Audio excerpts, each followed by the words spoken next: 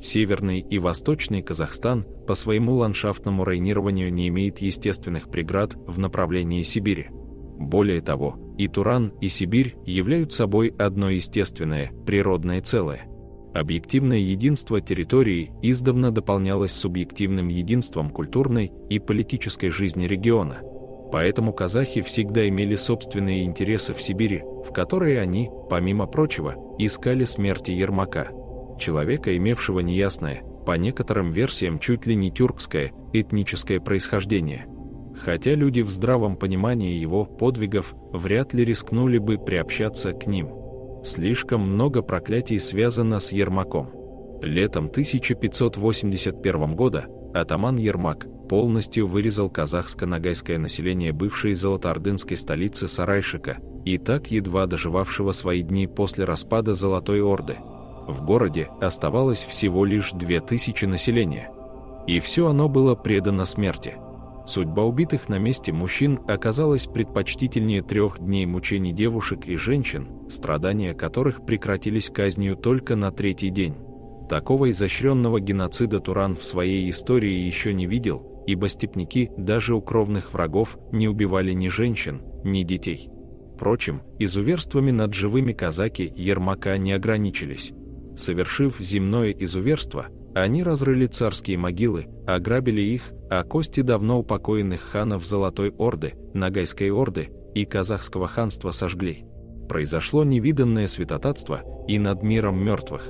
Полномасштабный геноцид живых совместился с кощунственным осквернением памяти мертвых.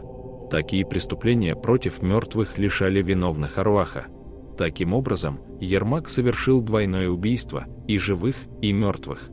Сравните сами, даже в фашистских лагерях смерти находились живые, а в ордынском сарайшике их не осталось.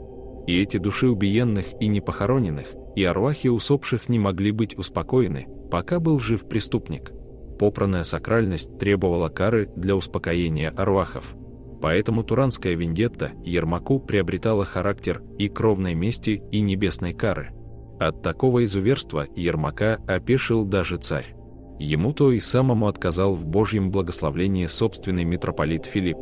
Но при известии о подвиге Ермака даже кровавый царь открестился от такого небывалого грешника.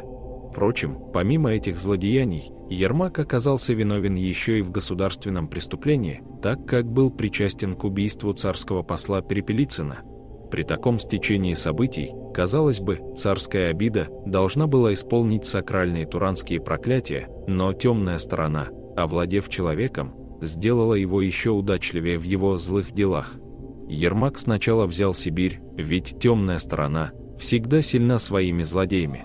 И Ермак, вооруженный поддержкой Строгановых, игравшими в северных краях роль Ост-Индской компании, вошел в Сибирь. Этот эпизод вначале не был столь акцентирован и значим для казахов и джунгар, занятых в своей войне. Но все изменилось, когда 26 октября 1582 года Ермак занял Искер, сибирскую столицу, покинутую слабосильным Кучумом. Тут-то и возникли в Сибири казахи.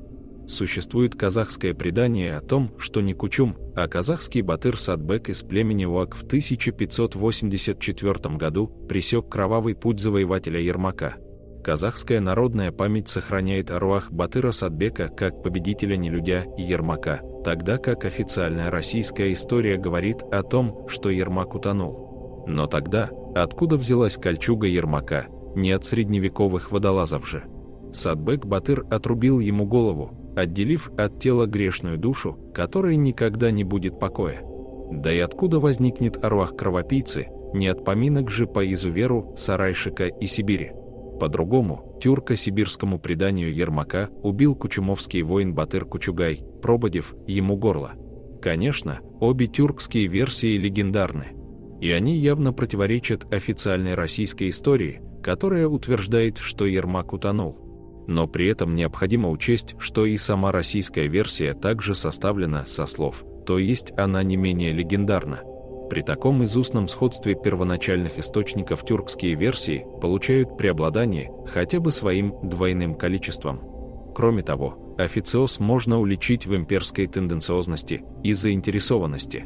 Царская Россия была империей, а империя не может позволить развенчания своих героев. Все-таки недаром Россия создала великодержавную и героическую историю завоевания Сибири.